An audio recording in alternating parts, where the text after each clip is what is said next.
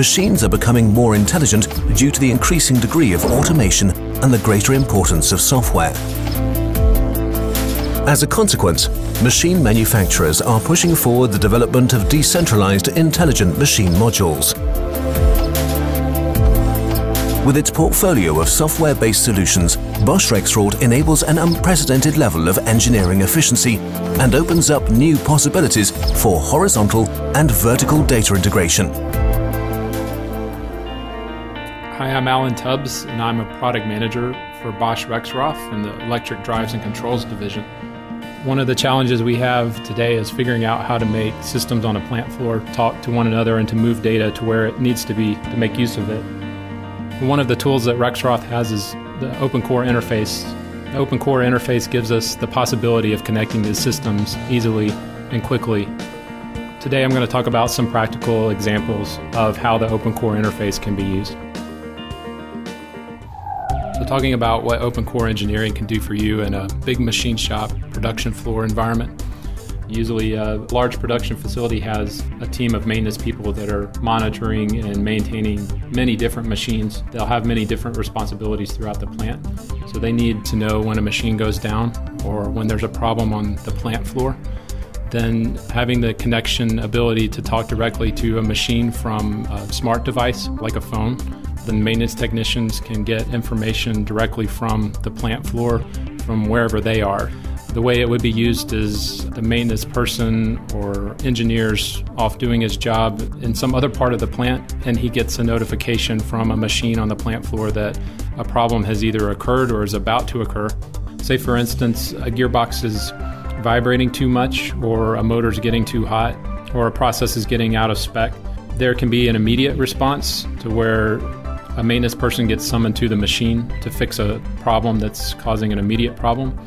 Or it could be that we see that something's gradually getting worse on a machine or a process, and then at that point, the maintenance person can schedule maintenance on the machine or schedule a correction at a time when production isn't being run on the machine.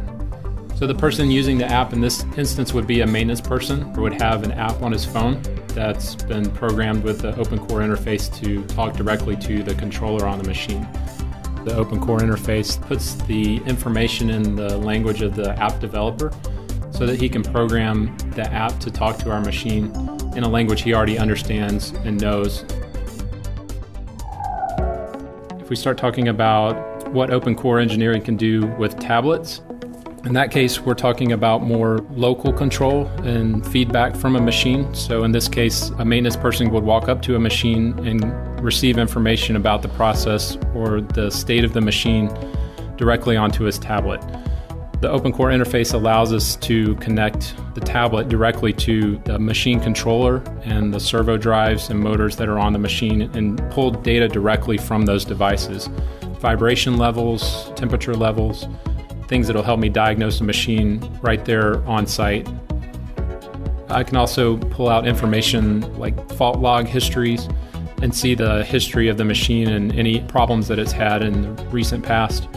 In this situation, the maintenance person receives a notification on his phone that something's wrong with a certain machine, and then he can go to that machine if it's urgent and take out his tablet to help him diagnose the machine there locally and figure out exactly what's wrong and what kind of action is needed to correct the problem. Without this technology, you're relying on some other notification system to get in touch with the maintenance person.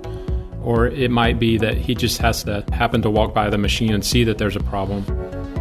And what all this does together is speed up the response to reacting to problems and errors on the plant floor, and that leads to more production time and less downtime. Another way to use the tablet is in conjunction with other Rexroth software solutions like IndraMotion for handling. The OpenCore interface is great for collecting data directly from the plant floor and deciding what to do with it, getting notifications, but it can also be used to actually control the machines on the floor as well. We're programming the tablet using the OpenCore interface to talk directly to the MLC control to access motion features that are in the MLC control. So the tablet can be programmed to access PLC variables or function blocks, or even down to the firmware level to access the commands to command motion on servo drives and I/O directly.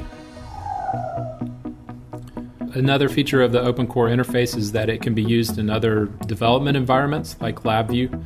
So in this case, a LabVIEW user who's already comfortable programming in LabVIEW can pull in the OpenCore interface libraries and be able to access the motion functionality in the MLC motion controller or in our servo drives directly. This allows him to program in an environment that he's already an expert in. He can access all the motion capabilities and expertise and tools that we have directly in his own programming environment.